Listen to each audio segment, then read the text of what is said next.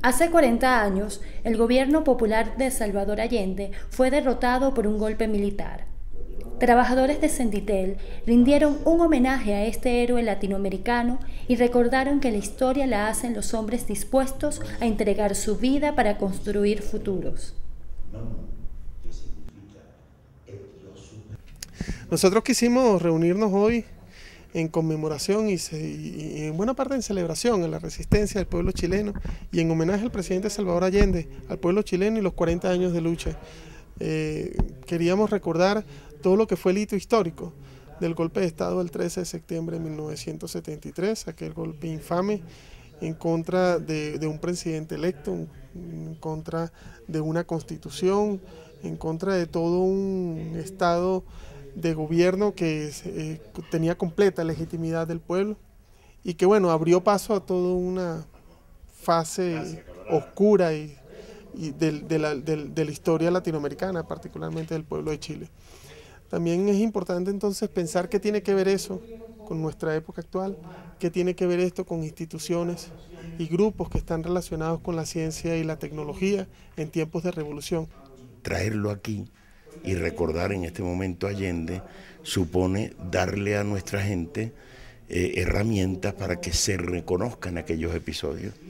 Hay un paralelismo terrible, terrible, abrumador y terrible entre lo que ocurre aquí y lo que ocurrió en aquellos días allá.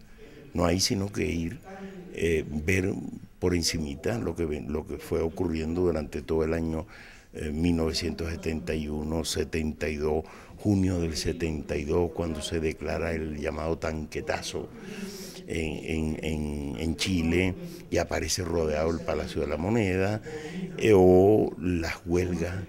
Fíjense ustedes qué paralelismo tan conmovedor, ¿no?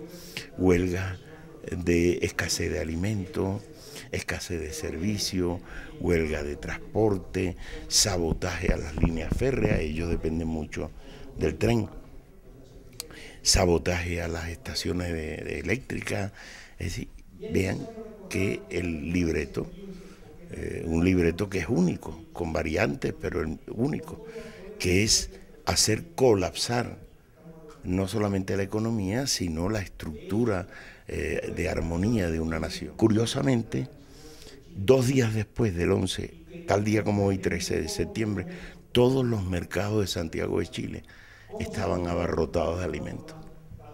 La historia de la humanidad después de 40 años no ha cambiado. La amenaza imperialista sigue latente y buscando meter sus garras en cualquier país que, como Chile, se declare revolucionario. La experiencia chilena debe ser un referente para estar alertas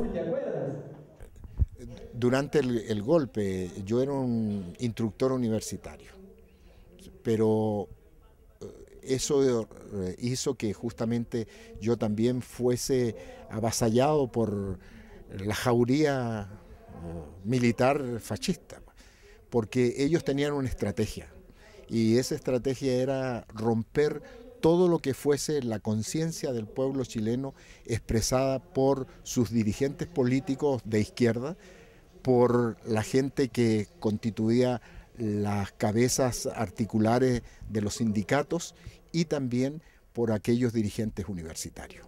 Esas tres cosas fueron desarmadas en Chile de tal modo que hubo una ausencia después de liderazgo, pero no solamente eh, descabezaron a los mayores, llamémoslo así, a los grandes líderes, sino que también a los intermedios e incluso a los bajos.